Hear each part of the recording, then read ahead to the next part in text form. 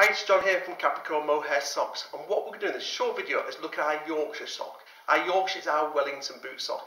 Mohair is a great, has great properties. It's perfect made for Wellington boots or work boots. Why is that? It's because mohair is hard wearing and because it's a straight fibre and the fibres rub together, it's not abrasive. So it's absolutely superb for Wellington boots and work boots. Also, the main property is that it's a warm fibre and therefore you, you don't get a lot of insulation in a Wellington boot and therefore you have nice warm feet in your Wellington boots.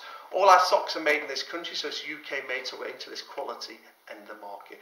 So what makes the Yorkshire very different than any other of our socks is actually a three-quarter length sock. So it's got a good padding on the sole and then it's ribbed to stay up and it's a three-quarter length sock.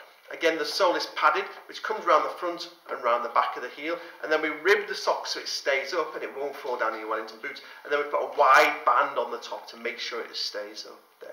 Overall, a great work boot and Wellington boot sock from Capricorn Mohair Socks.